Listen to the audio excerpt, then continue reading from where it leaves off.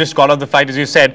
I'm going to tell you what they've said in the statement. They've said, well, we're disappointed that the deal did not go through, but we look forward to the opportunity of working uh, or trying to work out a deal uh, with MTN or probably other, uh, other, other candidates as well in the future. Uh, do you do you how much uh, would you give it any uh, importance at all to that statement that probably they if the chance if they do get a chance they would like to re-engage with MTN at a future date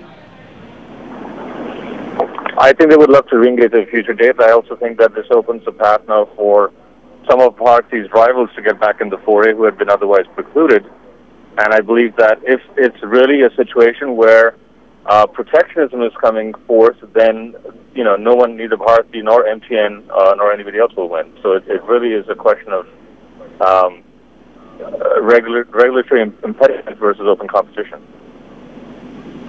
You're saying it gives an opportunity to some of the other competitors to come uh, get into the game uh, with respect to MTN. You mean?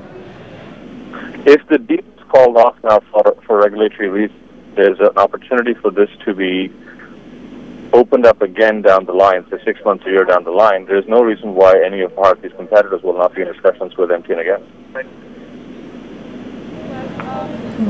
One more question for you, uh, Bandi, before we let you go. Uh, when you say in rivals, do you mean local rivals or do you mean international companies might also look at uh, stitching up a deal with MTN? Um, I'm thinking international, but there's certainly been enough interest from local rivals, as you know. Um, from Reliance in particular that I think is not completely uh, late dead. I think if the opportunity opens again, you can never say never. Thanks so much, Bundeep, for joining us.